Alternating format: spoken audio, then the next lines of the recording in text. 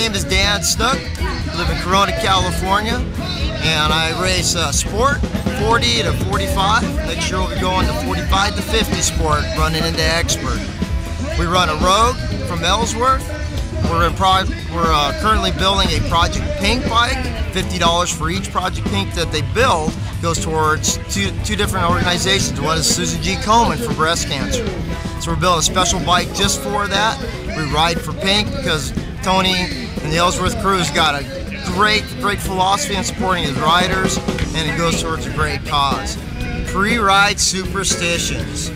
You don't watch people crash.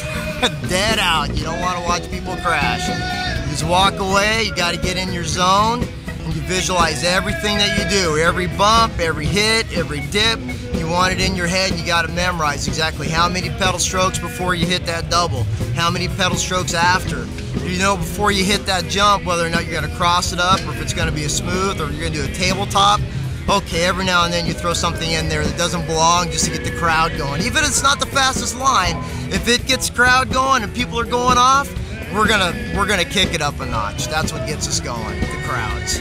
My bike, absolutely love it. Made in made in U.S. All hand fabricated, handmade. Uh, all the flames you see on them or the smoke you see on the bikes is done by hand. It's all, all blown on by hand using a, an air blower. So no two bikes are, are alike. Very, very unique, made in the U.S. Nothing like it. Nothing rides like an Ellsworth, let me tell you.